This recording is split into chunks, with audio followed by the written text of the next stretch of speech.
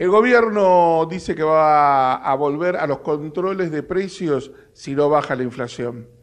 Realmente es insólito porque el gasto sigue creciendo, el déficit sigue creciendo, las emisiones de deuda siguen generando, generando traer más liquidez en Argentina, el Banco Central inunda de liquidez el mercado, las tarifas siguen subiendo, solo un milagro podría llegar a evitar esto. Es decir, en el peor momento de contención de la inflación, el gobierno propone como solución lo que fracasó el kirchnerismo. Es realmente insólita esta forma de actuar, en vez de ir mirando un poquito para adentro.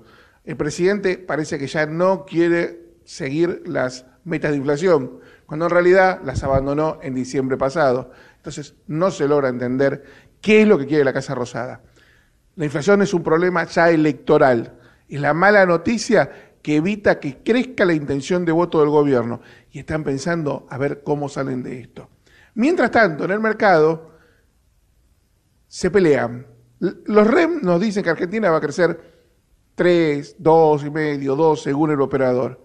En el mercado dice que MSCI va a colocar a la Argentina como mercado emergente y van a venir 5 mil millones de dólares a la Argentina de inversión, lo cual sería otro problema monetario muy grave, inflaría precios porque no hay activos para vender, todo otro problema.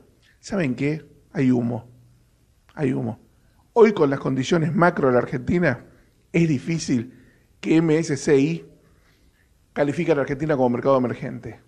Ya postergó la decisión tres veces. Con Brasil en su momento la postergó seis veces. Así que Argentina quizás va a tener que seguir esperando por volver a donde estuvo antes del kirchnerismo.